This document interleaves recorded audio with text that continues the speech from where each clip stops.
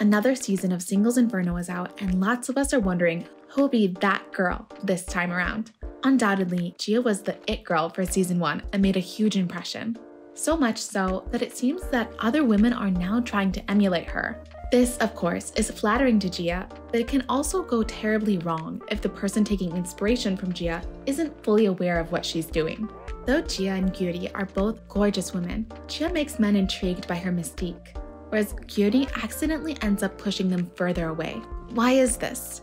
Were you surprised when Gyuri ended up not having any men go for her during their first impression confessionals? After she so confidently stated that Haesun didn't make much of an impression? 저는 제가 동성 중에서는 1인 것 같아요. 그냥 한 분은 밝고 한 분은 그냥 인상이 좋으시다. Let's find the answer to what makes these two women, who supposedly are using the same tactic of being an ice queen, so very different. Understanding the difference and even the smallest actions they take is crucial because, in the end, it will make a massive impact on being able to easily attract your dream guy or push him away. Being aware of your beauty. A mistake some girls make is in thinking their beauty will bring them farther than it actually can. The truth is, looks only go so far. Certainly, looks can make a good first impression or be the reason someone is initially intrigued or attracted to you.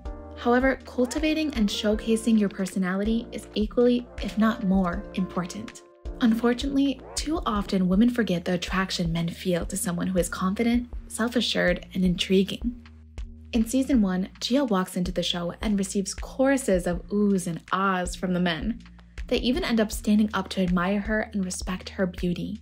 But what really sets Jia apart from another pretty face is how she creates opportunities for herself to show that her heart is equally as beautiful. She offers to help the men with cooking, fetching water, and shows she's compassionate and thinks of others when someone accidentally gets hurt. Let's take note and compare what happens with Gyuri in season 3. As the show launches, most likely she too is hoping to make a show stopping impression. However, she misses her chance by waiting for the men to come to her. She confides to the camera that Haesun, didn't make much of an impression, here, we see her naivety.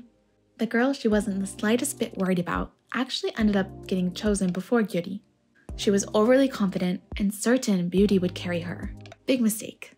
On the other hand, Haesun does highlight her go-getter and optimistic attitude, and because of that, she ends up being chosen to go to paradise. Another thing to notice is how many times in both season 1 and season 3, men are deterred from pursuing a girl if she has too much of an unapproachable aura to her. Men have feelings and egos they want to protect too. It isn't just us ladies. Men don't want to get their heart broken any more than we do. Even for Jia, over and over again, men say that she seems unapproachable and are hesitant to make the first move. Luckily, Jia smiles, shows her sweet nature, and creates inviting opportunities for others to get closer to her.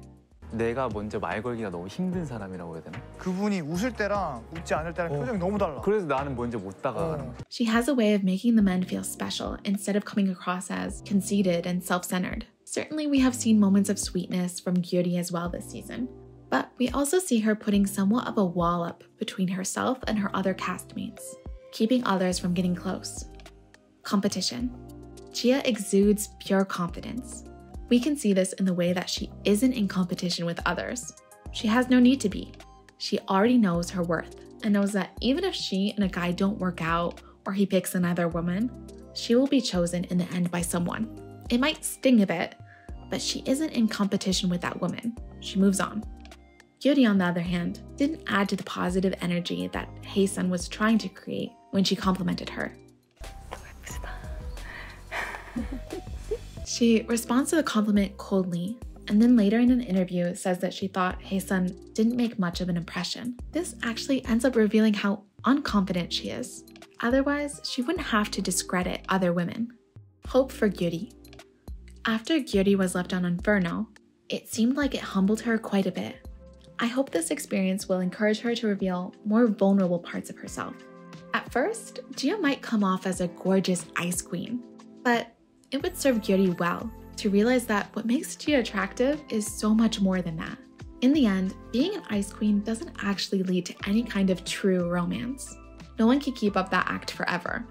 It's much more compelling when we actually get to see the the nuanced, sincere, and earnest qualities someone has.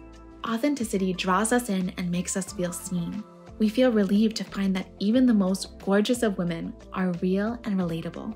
I hope this can be a moment of learning for Gyuri. We, as an audience, and the men as well, want to see more of who she really is. That Girl prediction for season 3. My prediction is that Minji will be the it girl for season 3. So far, from the little bit we've seen of her, she seems to have all the it girl attributes a woman needs. Of course, she's gorgeous, but she is also warm, open, and bubbly. She thinks of others and even laughs about the silly comments that men inevitably tend to make. Was anyone else shocked by that Teletubby comment that was made about her dress? 오늘 뚜비 스타일? 아, 아니요. 저 약간 싱그러운 스타일인데요. Some people really don't know how to flirt. But she handled it gracefully, not taking it too seriously, and laughed about it. I hope my prediction will be right and we'll have another strong, kind hearted, and confident woman to admire and learn from. What do you think? What's your prediction for this season? If you would like me to go into further detail about what makes Jia or any of the other contestants so charming to men, and no, it's not just because of their stunning faces, let me know in the comments below. As always, I'm here to help you become the best version of yourself that you can be. And if you want more girly pop personal development videos, don't forget to like this video and subscribe. I'll see you soon.